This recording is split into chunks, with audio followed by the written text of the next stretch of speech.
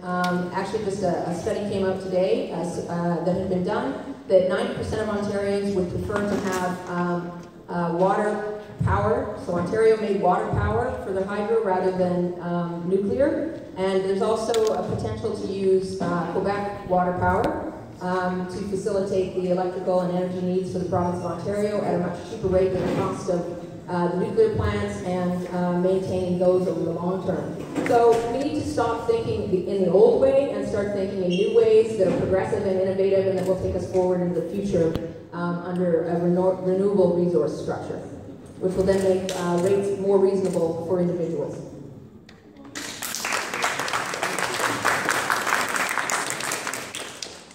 So the um, our plan actually the NDP and the conservatives, conservatives voted against the fair hydro plan uh, because they didn't want the relief to be uh, distributed right across the province. Our plan uh, offered a 25% reduction in rates right across on average, and in, in northern part of the province, it's uh, higher than 25%. And the reason for, for our rates to, um, the investment that needed to be made to, uh, to produce and generate clean energy was because for the last 25 to 30 years, the infrastructure, both uh, you know in the Harris days, uh, hadn't been upgraded. So it was imperative to upgrade and reinvest into our assets so that we can uh, continue to enjoy clean um, energy. You, would uh, recall smog days in 2005. We had up to about uh, 55 smog days. But because of this investment that has been made in our infrastructure, in, in the hydro infrastructure, uh, in the last few years we've had about two days. So it's, it was the right and responsible thing to do for our citizens.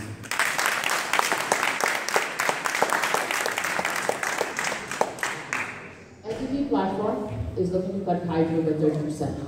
And that is equal across Ontario. We are looking at a fixed rate of 10.3 cents per kilowatt regardless of the time of the day. That being said, if we look at smog days, if we look at how much money has been already invested by Kathleen in this government, it's enormous. If we look at the $2 billion deficit that they decided to put into a plant, where did that money go? Where did that plant go? Who funded that $2 billion? And secondly, the swamp is that we're so well talking about. We are overproducing hydro right now. We're giving free hydro to Quebec and to US. I'm all about helping our neighbors, but at the cost of what? Well, at the cost of every single person that is sitting in this room is contributing towards that hydro. So I would urge everybody to please wake up and question our current Kathleen government hydro plan.